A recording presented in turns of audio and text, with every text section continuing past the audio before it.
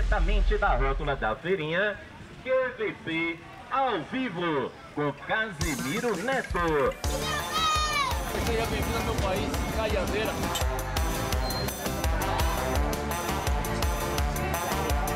Tá bonito pra caralho, Casimiro. O cara falou que você mais bonito pessoalmente, fica bem. Casimiro Neto, tá parada. QVP na área, direto ao vivo aqui da feirinha da Rótula de Cajazeiras, mostrando as alegrias, a força, a beleza desse bairro, que é um dos maiores do norte e nordeste do país.